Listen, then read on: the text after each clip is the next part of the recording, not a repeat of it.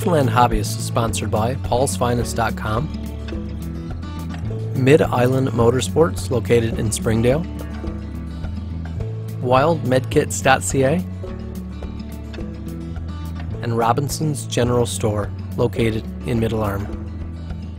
In two previous episodes of the Newfoundland Hobbyist, we have been working on a new to me 50 year old Kimball piano. Full restoration, a tune up. Today, we are finally going to finish that project.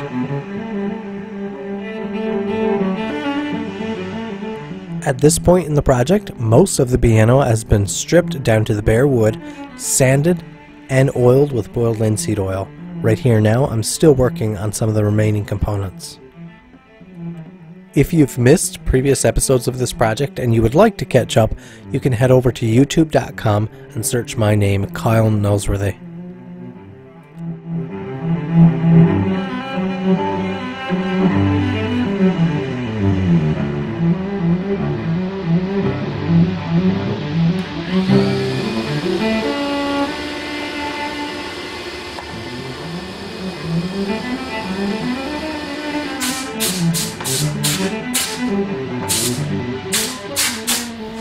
Now for the most fun part of this part of the process, and that is the oiling.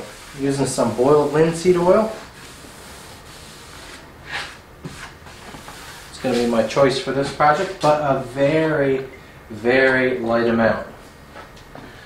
Just scrub it in, make make your lightly soaked cloth go as far as possible until you're almost not applying it anymore.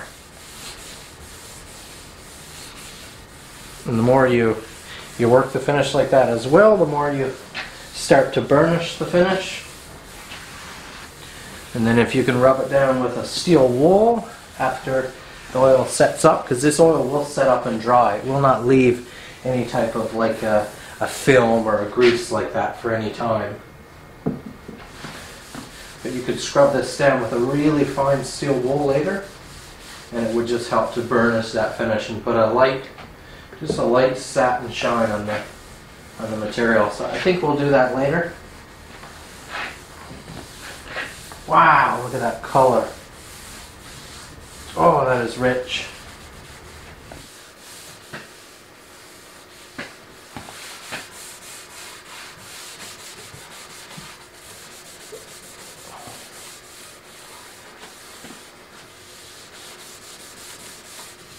Now, if you recall, this key cover wears a few different parts. It wears these two plates right along the front, along with a couple brass knobs to use for lifting your key, uh, your key cover out of the way. It carries the little artist console badge there. So there's just a whole bunch of little components, little screws and stuff that we're going to clean up. The only thing I'm not sure about is these big plates here because they appear to be brass plated and a bunch of the plating is coming off. So I don't know what our best, uh, what our best, the best scenario is there. I'm going to give it a try there on the wire wheel, just a brass wire wheel. See how much they'll clean up, how good they'll look. We might end up having to hand finish those. Got to be careful not to lose those little tacks here. Forgot those were even in the bag.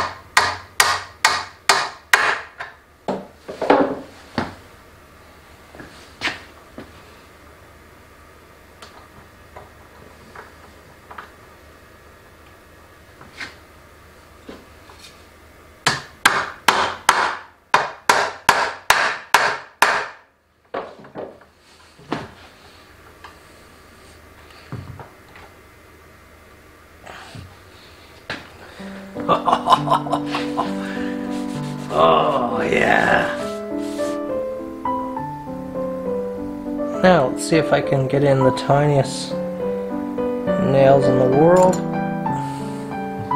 without losing them. Because I ain't finding those. Okay. Again, just look how small these are.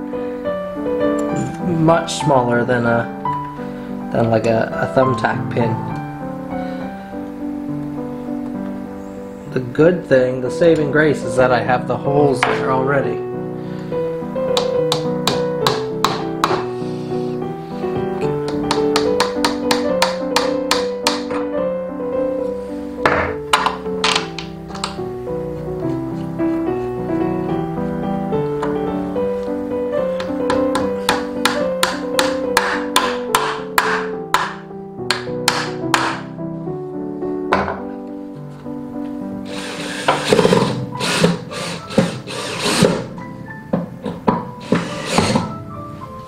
Ready?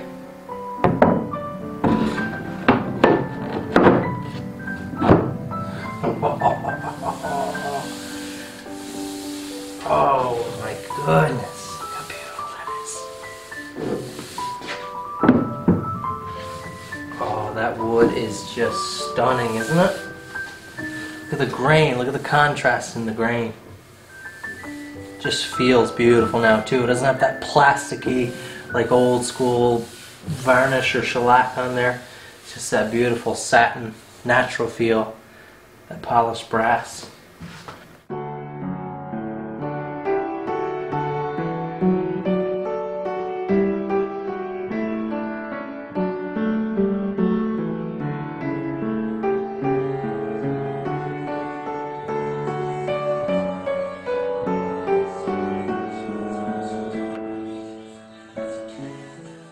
Newfoundland Hobbyist is sponsored by EdgeProInc.com, ABS Busing in Middle Arm, By the Sea Inn and Cafe located in Kings Point, and Noble's Timber Mart with locations in Springdale and Baie Verte.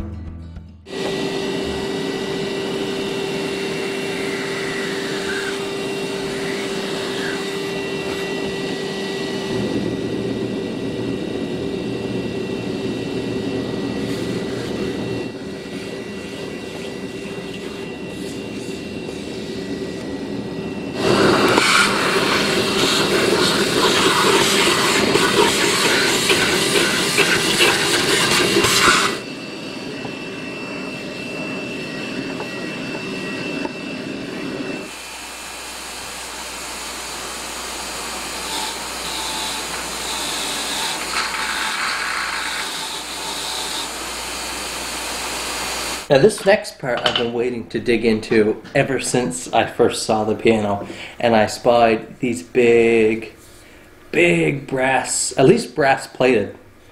Not likely solid brass, although mm, maybe they are. Judging by the holes there that are worn slightly, looks like maybe solid brass. But uh, you know what happens to brass when it gets polished. And I am set up, I'm equipped to do that. So let's have a look. Let's take a look here right now. Let's look at the tarnish. You see? That's how brass goes. And it's it's very nice when it gets tarnished like that over time. You can see right here, this portion is kind of like a, a brushed finish. That's because they travel in some uh, like foam scouring pads, dampening pads. Let's see what we can do with these. Now what I have here is a bench buffer. Um, bench buffers tend to run a lot smoother than bench grinders. Speed sometimes is around the same. This is not a variable control one. Um, the main thing about bench buffers is that they tend to have longer arbors, be a little slimmer around here so you can maneuver parts nicely. Um, I'm going to start off with a spiral sewn.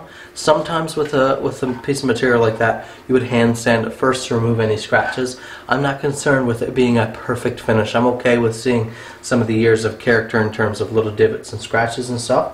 But uh, my goal is to strip off the tarnish and polish it. And if I sand it and it ends up being a brass plating, I risk breaking through that plating, which I don't want to do. So I'm going to take it straight to the buffer here with a rouge compound. This stuff, type of stuff can be harmful for your lungs. So, protection.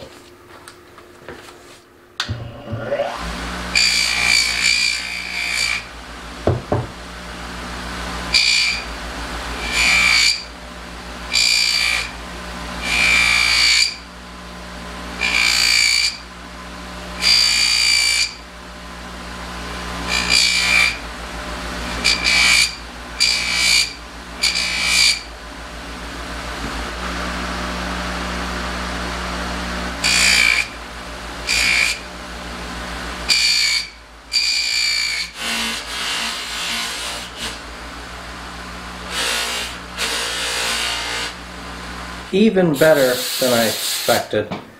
Just incredible. There's nothing like refinishing old brass.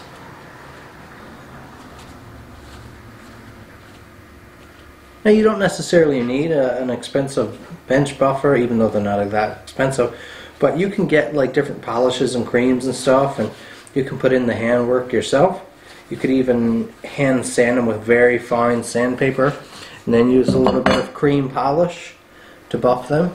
But uh, that buffer there just makes quick work and it does a good job because it's easy to get a really consistent scratch pattern which is always a lot more appealing to light and to your eye. Mmm. That is stunning.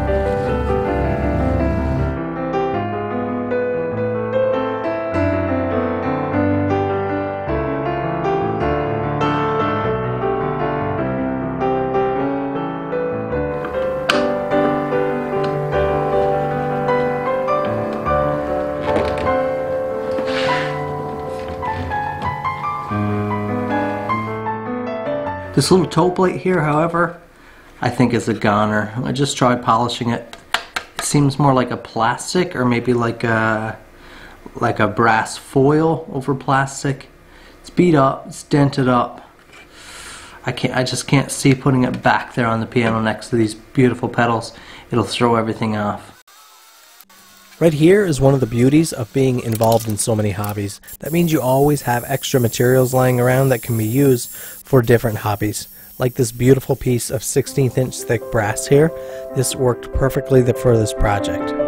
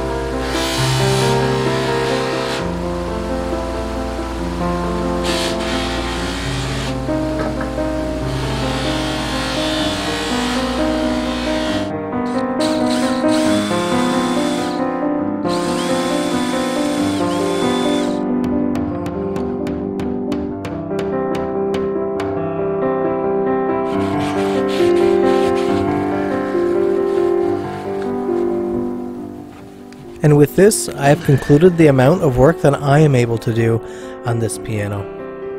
I'm so happy with the work that I've done here, with the way this piano has been turning out so far, and now it's time to turn the work over, to turn the piano over to someone who can take this project to the next level. A professional by the name of Riley Stairs, owner of Stairs Piano Craft Limited, has serviced acoustic pianos around the world. Before his work begins, let's take a listen to how the piano sounds now.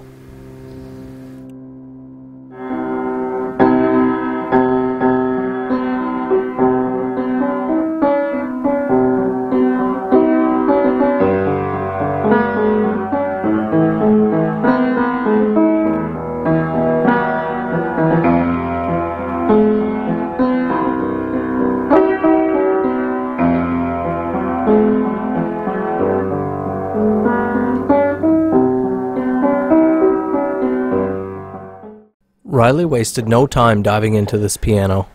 He immediately started diagnosing problems that I never even really knew existed. You can probably guess what that's from, huh? Just imprint from strings. Exactly, yeah. So over the years, as it's been played, the strings have kind of dug and cut into the hammers and compressed the felt right in this groove here.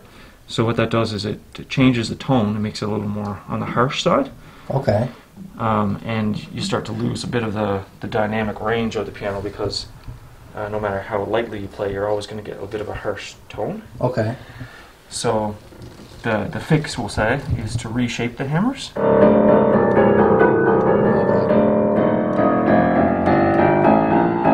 And sometimes some buzzing. Like like I said, the, the hammers could be reshaped, and that would be a big improvement. hmm And there's a fair bit of regulation, adjustment in the action that could be done to really improve it. So that is what regulation is? It's That's just right. adjustments in the working components. Yeah, everything from Oh, okay. the, the height of the key, the balance point of the key, the key depth, um, all the okay. ways back into the the distance between the hammers and the strings, the point at which they release, moving forward to the string. All of that. Oh yeah, there's there's 42 points of regulation that are, have to be taken into consideration to Wow. make a piano function.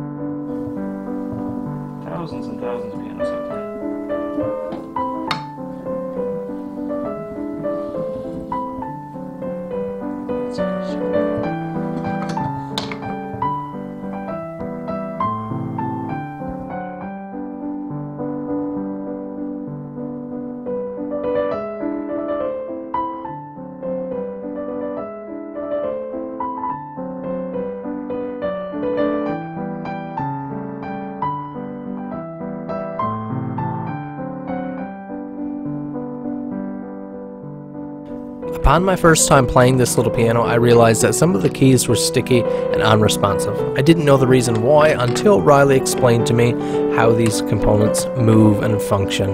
You actually need to repin several of these hammers because, as you can see right here, they just do not return to their proper resting position as they should. You can feel how sluggish that is. Okay, so that should just freely.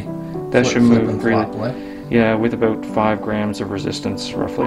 I'm just going to do that by feel, but um, you know, it should certainly come back under the tension of that spring. Oh, okay. I didn't see the little spring. Yeah, I see it there now. So that spring should pull that back. Absolutely. It should fall under the weight of this screw. Oh, yeah. It's definitely not doing that, eh? Definitely not. Oh, yeah.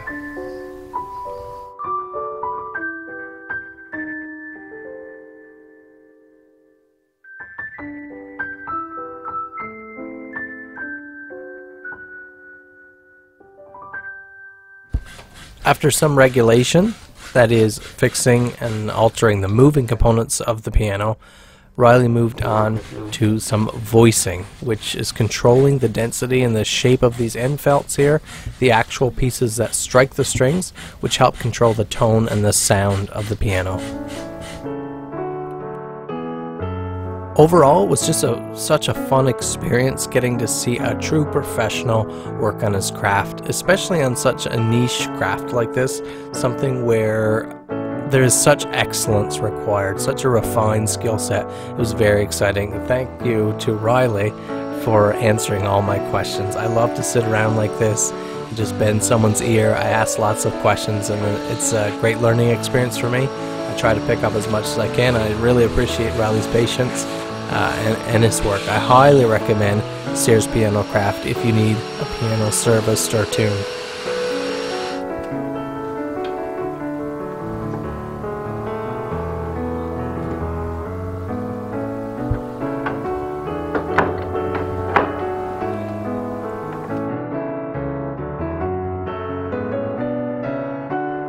So what is it you're adjusting there now?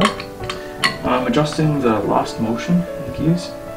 So that's all the movement that you see down here before the hammer starts to move. Oh, okay. Okay. Creates kind of a wobbly, loose feel, whereas it should be like an almost. As soon as you touch the key, there should be movement. Yeah, exactly. Oh, okay. All under the heading of regulation.